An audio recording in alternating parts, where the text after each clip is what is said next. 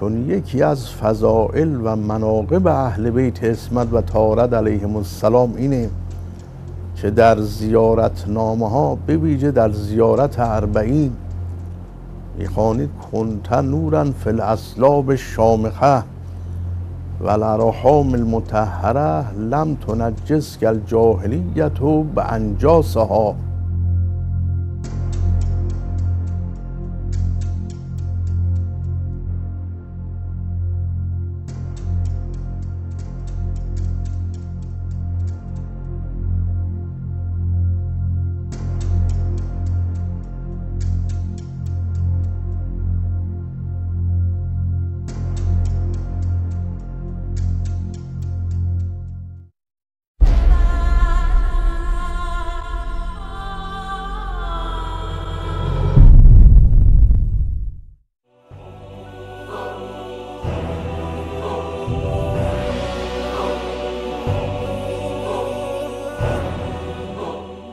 السيدة سليم أم الإمام العسكري عليهما السلام.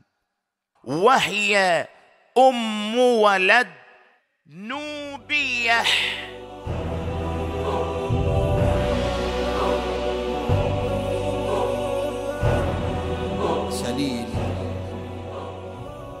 تحدث عنها الإمام الهادي قال سلت من الآفات والأرجاس فكانت طاهرة مطهرة. اسم الثاني سوسن. هذه نبتة نبتة تطلع عليها أزهار طيبة الريح جميلة المنظر. بعد من أسمائها حريبة من أسمائها عسفان. من أسمائها حديث أو على قراءة حدي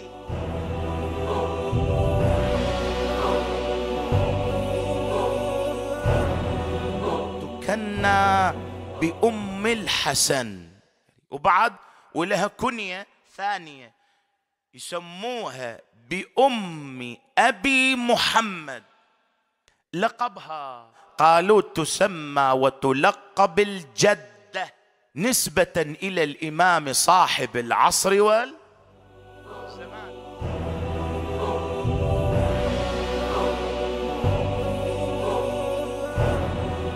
وقد وضعت مولودها المبارك في المدينة المنورة في العاشر من ربيع الثاني سنة 232 للهجرة. وفي السنة التي استشهد فيها الإمام العسكري عليه السلام طلب منها أن تحج البيت. وعرفه أن عرفها أنه يتوفى في غيابها وأحضر ولده المهدي وأوصى إليه وسلم إليه مواريث الإمامة والسلاح.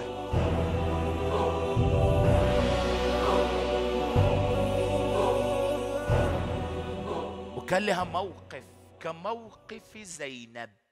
يقول عن السيدة حكيمة هذه في إكمال الدين للشيخ الصدوق. بنت الإمام الجواد عندما سألها أحمد بن إبراهيم قال لها الإمام العسكري وين راح؟ توفي. قال فإلى من تفزع الشيعة؟ قالت السيدة حكيمة إلى الجدة أم أبي محمد.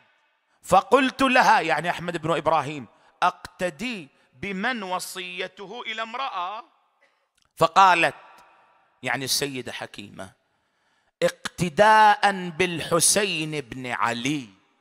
فإن الحسين بن علي أوصى إلى أخته زينب بنت أمير المؤمنين في الظاهر فكان ما يخرج عن علي بن الحسين من علم ينسب إلى زينب سترا على علي بن ال...